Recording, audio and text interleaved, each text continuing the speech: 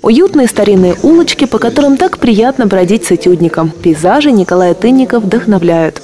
Порой сама жизнь подсказывает сюжеты картин. Ну, иногда пойдешь этюд писать, вот, допустим, как вот это называется к празднику работа. Я пошел, мне понравились очень домики вот эти, им уже больше ста лет.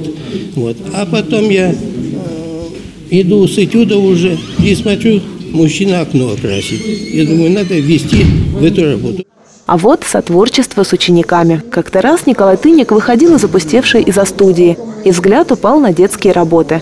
Так появилась идея, а потом и сама картина. Я всегда часто наблюдаю. Наблюдение это, конечно, тоже наблюдаешь, что-то запоминаешь и так далее. Это не значит, если не пишешь, что ничего не делаешь. Все равно ты занят э, своим каким-то чисто профессиональным делом.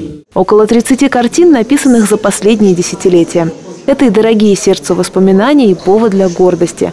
Среди них есть победители всероссийских выставок. А идеи для новых работ уже витают в воздухе. Ангелина Рязанцева, Сергей Дорохов. События дня.